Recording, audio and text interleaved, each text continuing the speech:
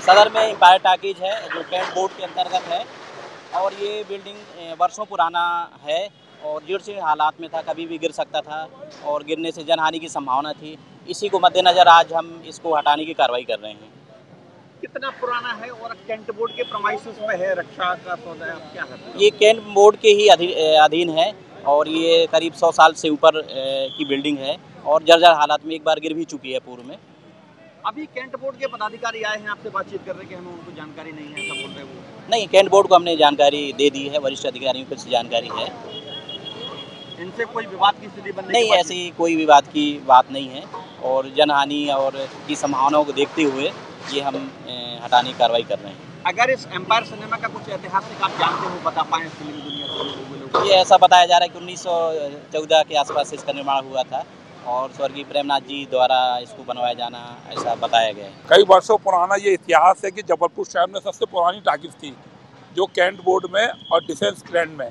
मगर इसकी कोई भी देखभाल नहीं होने के कारण ये आज इतनी कगार हालत में पहुँच गई, जो पुरानी धरोहर थी, वो भी आज टूट गई है। कई बार यहाँ हादसा होता हुआ, बचा हुआ है। कई बार ये दीवार गिर के दो तीन आदमी तो पहले ऑलरेडी तो मर भी चुके रिक्शे वाले। इसलिए प्रशासन से कल लगता अखबारों में आने के बाद प्रशासन जागने के बाद इसको इस एम्पायर टाइगर को गिराया गया। ये क्या कहानी है इसकी अगर कुछ यादें आपकी जुड़ी हो तो?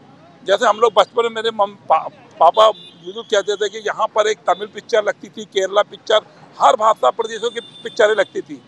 इससे संस्कृत की कई बच, बच्चों के यहाँ पर बहुत सी कृत्य नृत्य भी हुए हैं।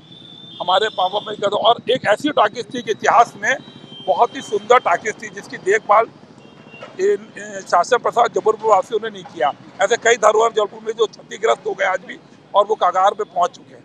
एम्पायर के साथ क्या प्रेमनाथ की यादें भी खत्म हो रही? हाँ उनकी भी कई यादें जो थी आज वो भी खत्म होते जा रही है। प्रेमनाथ का आगे भी बंगला भी है वो भी बहुत क्षतिग्रस्त हो गया है।